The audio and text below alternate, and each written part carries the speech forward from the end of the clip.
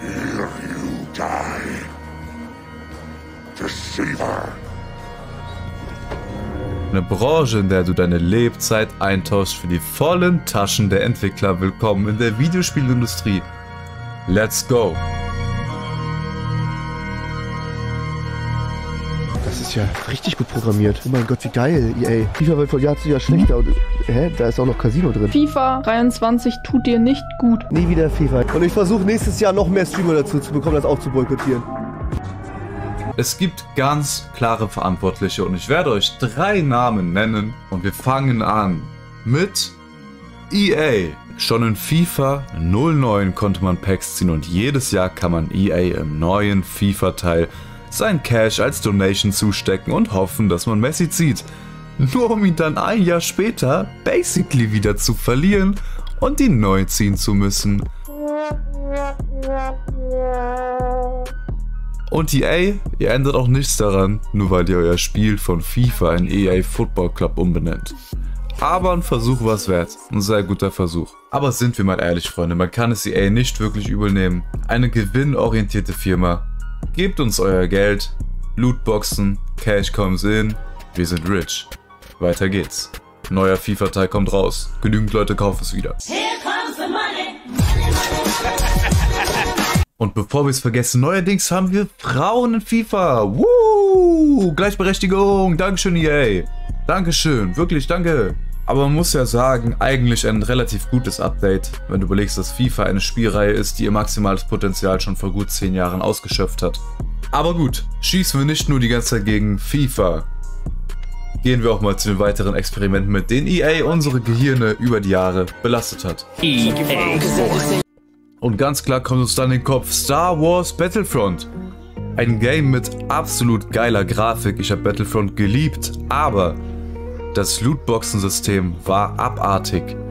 Das Game war alles nur nicht fertig und dazu einfach wie der erste Teil.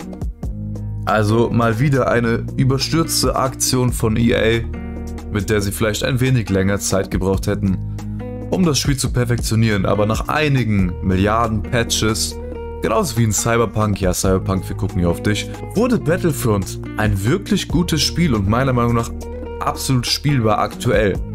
Aber auch hier hat EA mal wieder viel zu sehr auf ihre Tasche geschaut und gar nicht auf den Endnutzer, nämlich uns. Und das ist wieder ein weiteres Problem. Du kommst in ein Spiel rein, zahlst deine 60, 70 Euro.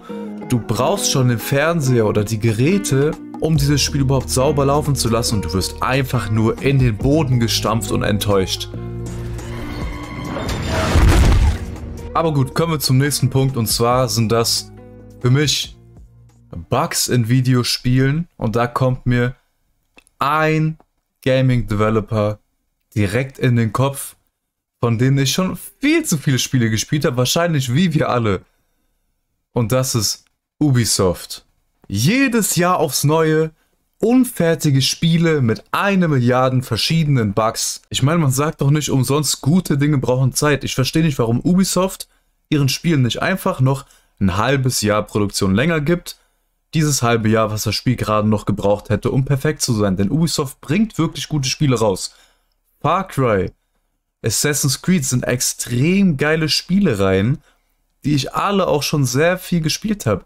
Selbst das Problem, dass Assassin's Creed zu repetitiv ist, haben sie behoben. Ich kann mich noch daran erinnern, wie mein Onkel vor 10 Jahren, 2012, wie er gesagt hat, ja, ich hole mir kein Assassin's Creed mehr, weil es einfach immer nur das gleiche. Mittlerweile mit Odyssey oder mit Valhalla haben die so riesige extrem krasse Spiele mit perfekten Grafiken. Warum geben die den Spielen nicht einfach noch ein halbes Jahr mehr Zeit, wie zum Beispiel mit Valhalla, mit den fucking Sounds? Ich weiß nicht, ob ihr das schon mal gehört habt. Wenn nicht, ich blende euch jetzt ein Beispiel ein.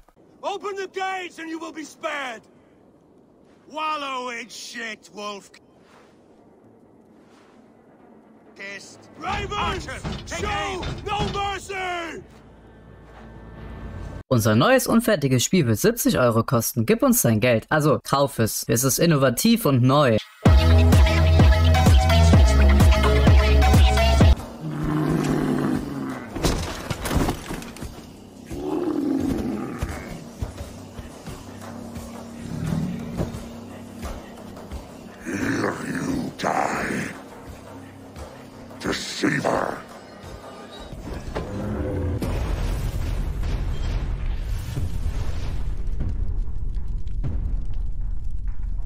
Fight Like a Viking trifft es wirklich gut, denn du musst wirklich wie ein fucking Wikinger kämpfen, wenn du das Spiel aushalten willst. Obwohl, zwei, drei Jahre später haben sie größtenteils alle Fehler gepatcht, Freunde. AC Valhalla ist spielbar, viel Spaß. Aber gut genug auf Ubisoft rumgetrampelt. Machen wir weiter mit Nummer 3 der Verantwortlichen. Eigentlich tut es mir schon fast leid, das so sagen zu müssen, denn wir sitzen hier gemeinsam im Boot. Aber die Wahrheit ist, ein großer Hauptteil, warum diese Spiele so ranzig rauskommen, sind wirklich wir. Wir sorgen dafür, dass die Publisher dieser Spiele immer wieder neues Geld in der bekommen und immer wieder so ranzige Kacke rausbringen können. So ranzigen Mist. Wirklich. Es ist unglaublich. Ranzige Games, in denen du dir dann irgendeinen Vorteil noch erkaufen kannst durch abgeranzte Drecks-Lootboxen, damit dieses Game überhaupt noch irgendwie aushaltbar ist. Oder dann kleine Kinder die Kreditkarte ihrer Mutter klauen und 5000 Euro ausgeben und die Mutter dann im Bankrott sitzt und nichts mit ihrem Leben mehr anzufangen weiß. Aber Hauptsache der Publisher hat geballert, weil die irgendeinen Psychologen dahingesetzt haben, dass der das Spiel auf Krampf so baut, dass kleine Kinder Psychosen bekommen, wenn sie keine Lootboxen kaufen, Mann. Ich war selber schon in dem Loch drin. Das ist echt scheiße, wenn du der Beste sein willst von deinen Kollegen und so und dann kommt da so eine ranzige Kacke raus, die aber jeder irgendwie feiert, weil es einfach das Neueste und das Beste ist. Also man, es ist offensichtlich, wir sind das Problem dabei, Freunde. Denn wir sind nun mal einfach diejenigen, die diese Spiele kaufen. Wir sind ein Großteil dieses Problems und ich bin sehr gespannt auf GTA 6, weil die sich dabei sehr viel Zeit lassen. Red Dead Redemption 2 war auch schon sehr geil, auch wenn das Spiel ein paar Bugs hatte, aber ich bin sehr gespannt auf GTA 6. Ich bin sehr gespannt, was dabei rauskommt. Dann kann ich nur sagen, Freunde, boykottiert diese ranzigen Drecksgames, kauft euch nicht zum zehnten Mal fucking FIFA.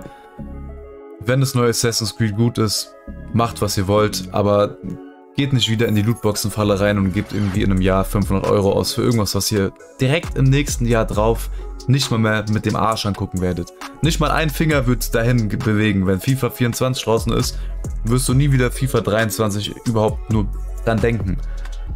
Niemals mehr. Ich würde sagen, lasst hoffen, dass richtig geile Games rauskommen, die ballern. Ich wünsche euch einen schönen Tag, Freunde.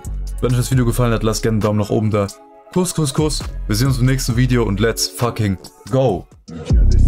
face, bitch. I don't give a fuck. Bitch.